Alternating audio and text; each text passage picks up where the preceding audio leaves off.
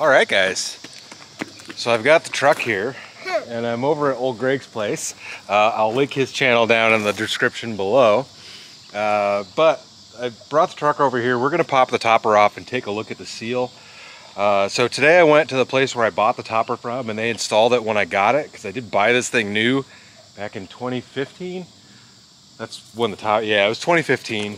Um, and they said that nine times out of 10, it's got nothing to do with the seal on the topper itself. Something is crooked or it's leaking in like a, a, a seam in the bed or something like that. And after we kind of inspected it, you can tell that the topper itself is crooked on here.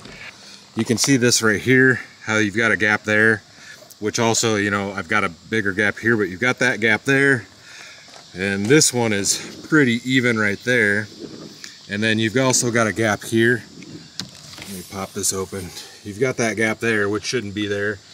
And this one is tight right there. You can't get anything underneath of it. And if you come around, uh, I don't think you guys will be able to see it at all. No. If you look in there, you can kind of tell that it's crooked. Uh, I'm having water come in somewhere in that front corner and it comes down the bed rail and uh, drips right off the bottom of the bolt. The bolt that's on that front side though. So we're gonna unbolt the topper, kind of pick it up and look at the seal to see what that looks like. Uh, he recommended, uh, the guy at the shop recommended to uh, just put some RTV on the front edge and that might be all you need to do. Uh, but he didn't really want to sell me the, the seal because he said that's probably not the issue. So we're gonna take a look and see what we can figure out and uh, we'll kind of go from there. So thanks to the homie Greg for letting me do this here. It, uh, I could probably do this in my driveway, but it's gonna be much nicer to have a second pair of hands because I can stand in there and kind of pick the topper up with my back and he could probably look at, at the seal and I don't know. Otherwise we might stick a couple two by fours in there, but we're gonna get to work and I'll let you guys know how it goes.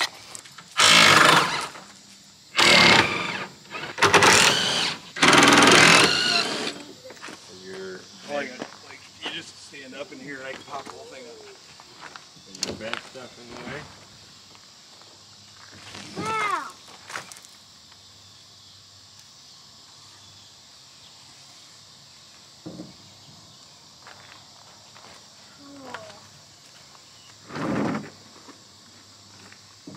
Why is he lifting it up?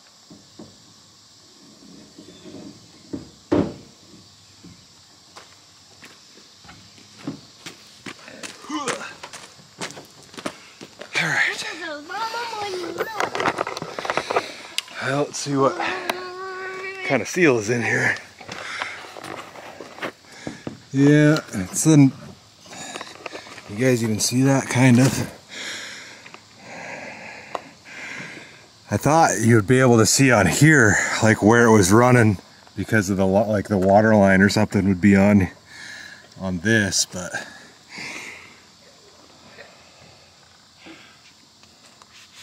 I wonder if it's if I need to put tape over these stake pocket holes because you can see where it's like bulged out there. I don't know if it doesn't look screwed up anywhere. No. But yeah, I kind of feel like I should put a piece of duct tape over the stake pocket up front.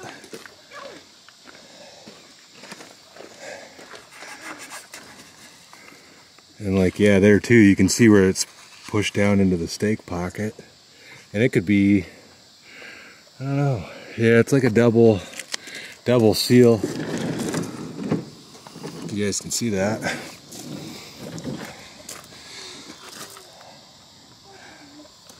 This side doesn't look bad either. The front looks a little wonky, but it's, yeah, I do think it was back a little far. Yeah, I kind of figured to be able to tell on the dust where it had where it had come in. The front you can you were only getting one seal. Yeah, it. it's not like it wasn't far enough forward, but I don't think it can come that much farther forward.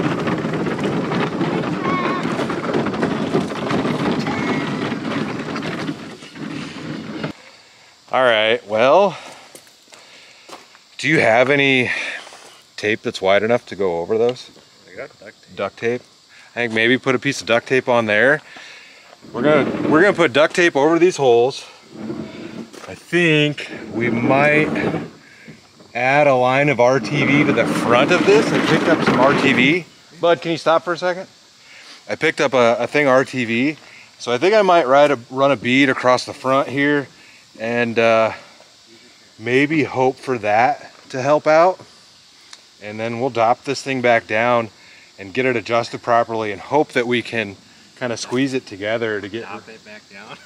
dop it. I said drop. No, you said dop it. We're gonna dop it back down and see if we can squeeze the end together too to kind of get rid of that gap in the window. So maybe the dude is right. Like the seal doesn't look bad at all. no.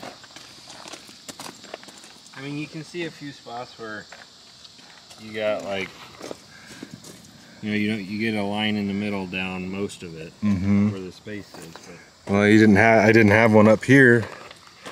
Basically, toward think- to that bolt. I didn't have anything because the bolt's right here. you'd think that would mean it just it was sealed better, Yeah.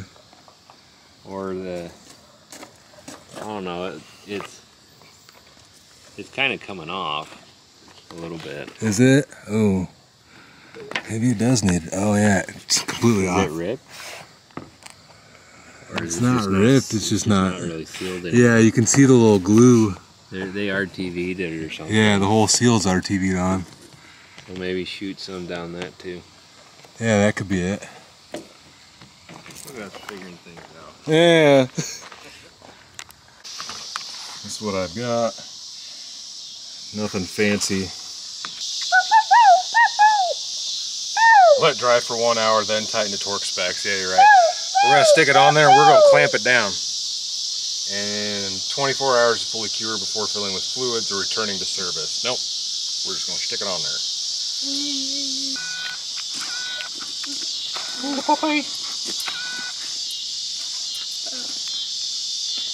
I I summoned this. I probably should have cut a bigger hole in there, but that'll be good for under the seal anyways.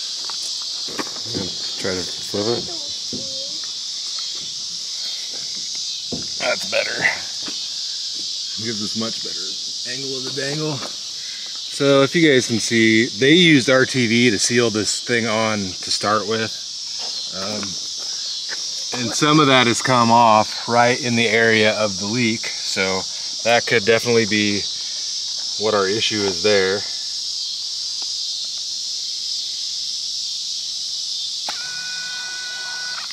We'll just run a glob ourselves a bead up in there. Yeah, I should have cut more of that off. Now I'm gonna get RTV all over my knife. What is that stuff called? The goop that you never get off of anything. No, that's called the. Uh, what's that? Uh, the silver stuff. Volcom? No, the anti-seize. Oh yeah. Anti-seize. That stuff never comes off. Get it everywhere. Man, I'm shaky. Too much crack, man. Oh, there you go. Now you can see. I don't know how far back to go, but It's like snot. It's like snot. Yeah. It's like glop. It's like gloppy glop. Gloopity glop. Yeah. Like off the Lorax. Yeah. Hashtag Lorax. Like Don't pollute the streams. I'll give it another bead. Fuck it. Give it an outside it's like bead. glop. It's like glop. Run that all the way to the front.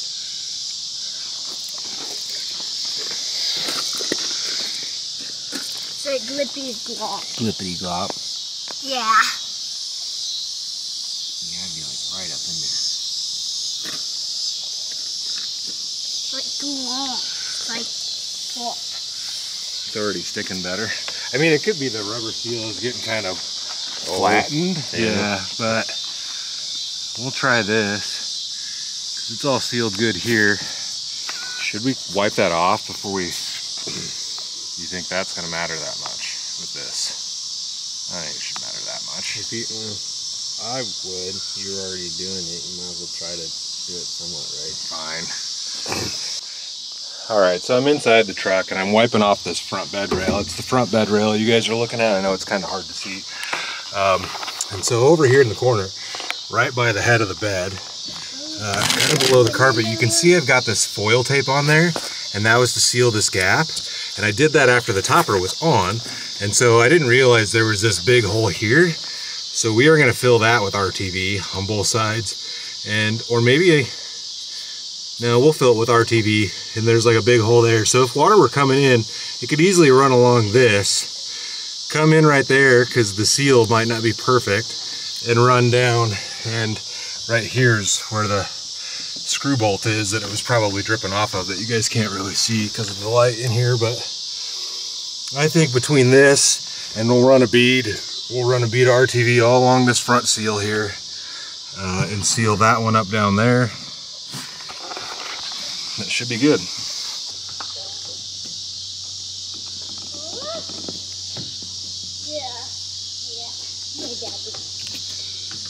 Big hole right there. I don't know if it's gonna fill it up.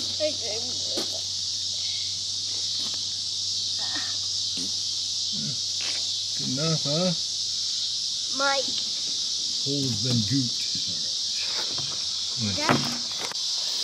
All right, guys. So we've got the seal done. We've got the duct tape on, and we've got the worst bead of RTV the world has ever seen along the front of this thing. And we're gonna try to drop it back down. So the plan is to take the rear one out, the rear two by four out first, and drop that down. That way I can bring the topper all the way forward because it does catch on the back here. And then, uh, and we'll set the front down, and we'll go from there.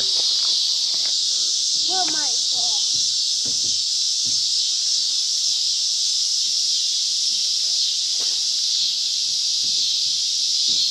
No. What?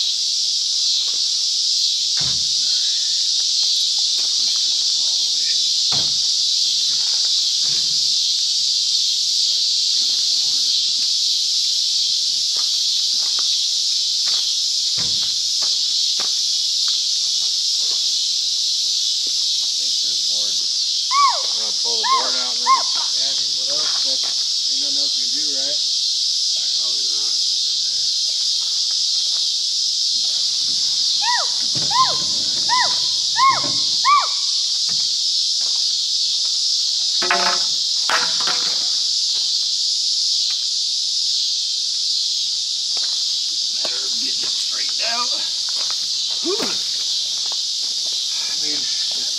now. It used to be even like that.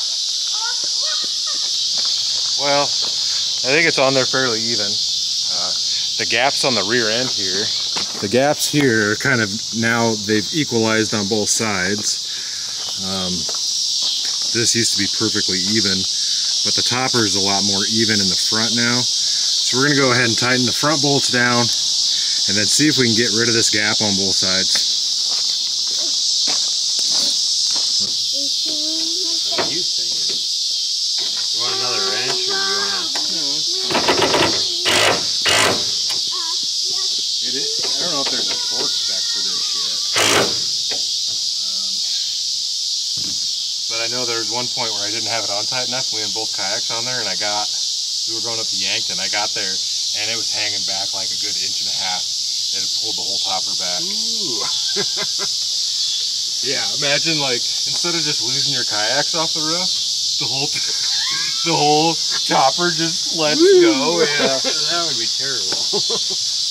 Let me call the insurance company. Sadison.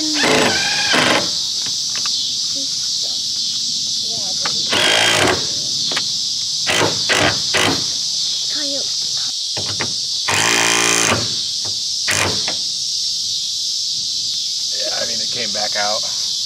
I don't think there's any way you can do it. You're right, because it just picks the topper up I on the think we bedside. are done. Uh, I left it. It's this corner where your paint's all rubbed off. Yeah.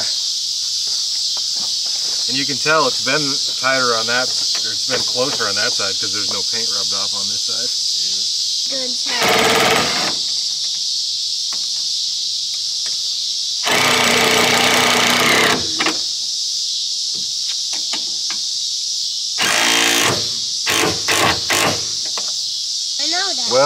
we've got everything bolted back on. Uh, I guess let's close the window and see if it looks any better. You still have a gap here. You still have that there, but it was as wide as a finger on that side before, and we've kind of evened it out. So, I mean, this isn't perfectly sealed yet, but this looks like it's lined up better on the body line on both sides. And the front end, the front edge of it looks good too. You can see a little bit of that RTV right there that I brought over.